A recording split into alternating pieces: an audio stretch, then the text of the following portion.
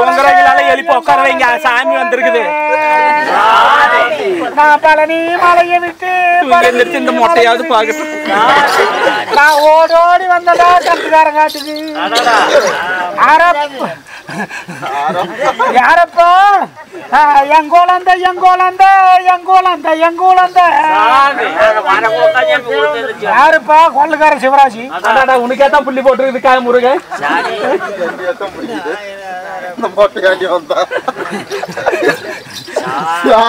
அப்ப பழனி மலையை விட்டு பழனி மலையை விட்டு.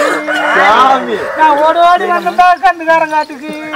எதுக்கு கண்டு அப்பா அப்பா.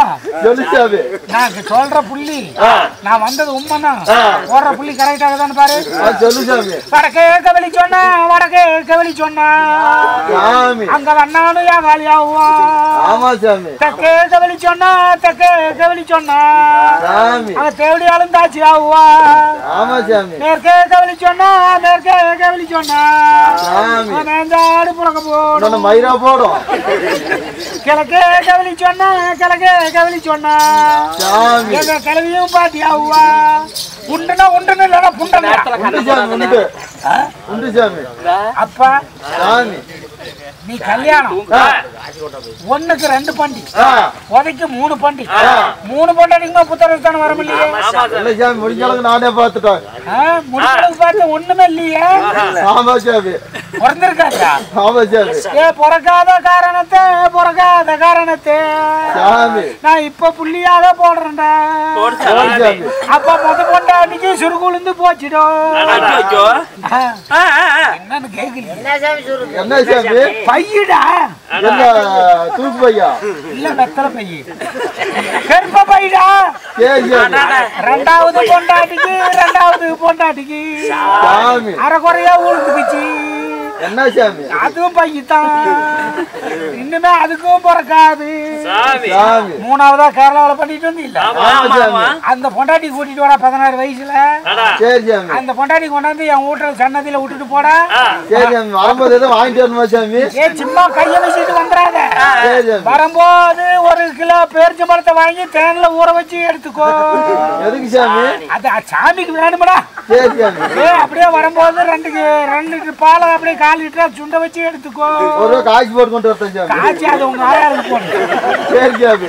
அப்பா. சொல்லு சாமி. சலகண்டாபுரம் போய் அந்த அம்மா மெடிக்கல்ல. வயாகரா மாத்திரை பன்னெண்டு மாத்திரை வாங்கிக்கோ. என்ன மாத்திரை? வயாகரா. அது எது தலைவலிக்கா? தலைவலிக்கு கூதி வலிக்கு. எல்லாம் வாங்கிட்டு பொண்டாட்டி கூட்டியாந்து என் சன்னதியில விட்டுட்டு மூணு அம்மாவாச்சிக்கு போனீங்கன்னா. பத்தாவது மாசம் பாலம் பிறப்பான். எரியுதுடா எரியுதுடா நான் மலையேற போறேன்டா.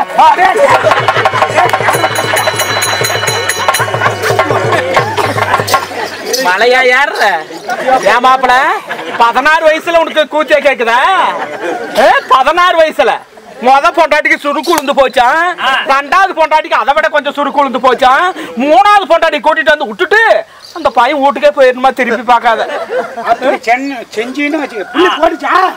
அந்த கூதி ஊத்தி வைக்கிறதுக்கு நூறு ரூபா எள்ளுக்கிட்டு கடன் கேட்கற ஊத்தி வைக்கிறதுக்கு எண்ணுக்கிட்டு நூறு ரூபா கடன் கேட்கற நீ ஒன்றரை நேரம் புடுத்துற மாதிரி தான் கேட்ப பொழப்புக்கு நான் உனக்கு? சரி வா வா விஷயம்